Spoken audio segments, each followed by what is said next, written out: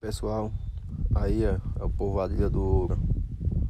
Esse barzinho fica na, nas proximidades do Rio São Francisco.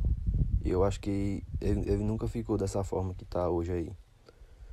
Tá, tá enchendo, viu? E, e a previsão é para chegar mais água ainda aí. Previsão é de muita água ainda. Aguardo que no, nos próximos dias aí tem mais, tem, tem mais vídeo para vocês aí informando como é que tá o nível do rio a, a Chesp já mandou o aviso já que vai soltar mais água. Aguarde aí que vai ter mais vídeo. Se inscreva no canal aí. Deixe seu like para fortalecer o canal. E é isso aí, galera.